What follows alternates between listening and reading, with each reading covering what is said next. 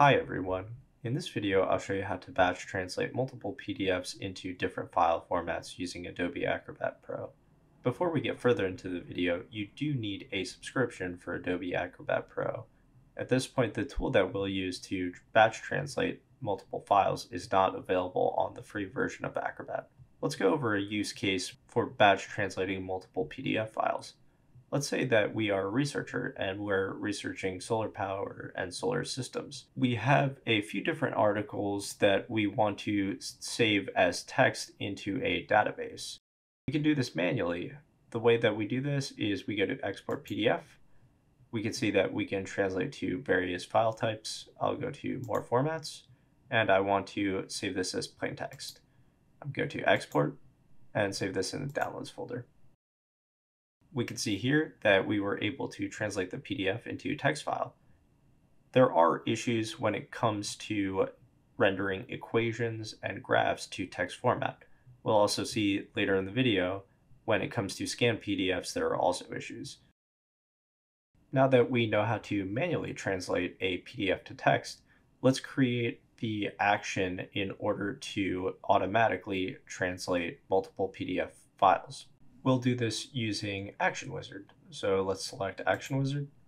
And we are going to create an action to batch translate. We'll go to New Action. And in order to do this, we need to go to Recognize Text, and we're going to select Recognize Text using OCR. OCR stands for Optical Character Recognition. And what Adobe is going to go do is it's going to scan the PDF look at all of the characters here and translate it to text format. We'll hit the plus sign here, add that in.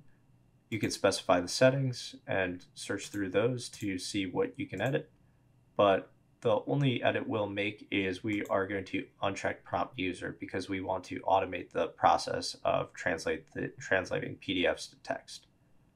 Next, I'm going to go to save and export and we are going to save it as a text file. So I need to bring that over here and within specify settings, I need to export files to a text format.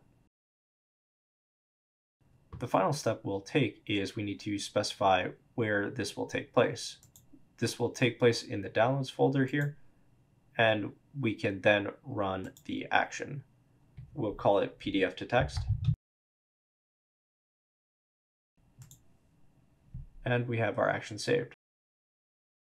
We can go to Tools, then we can go back to Action Wizard, and then we can run our PDF to text action. Let's run it. It will take a few minutes to scan and translate all of the files here.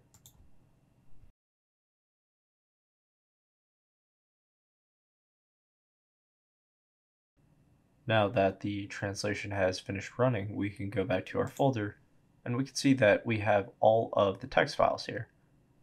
I will at this point point out one of the issues with Adobe's OCR model. If we take a look at this article here, we can see that it was scanned in. It wasn't natively written in Word, then translated to PDF. Somebody actually scanned this in and saved it as a PDF if we take a look at the text file that it was saved into, we can see that Adobe's OCR model was not able to capture the text for this article. And this is one of the limits in working with some of the scanned PDF files. What we can do next is we can actually upload the files into Google Colab and take a look at it within the database that we'll create. What I'm going to do is I am going to create a folder and save all of the text files in here. We have it saved and we can see that now we have the text files stored within a pandas data frame. And you can check this out within GitHub. I have this all saved there. So you can play around with this and take a look how well the program did translating the files.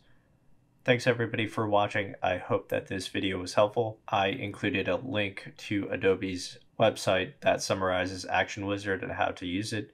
If you found this video helpful, feel free to subscribe. You can also connect with me on LinkedIn, Twitter, GitHub, and Odysee. Thanks again, and happy coding.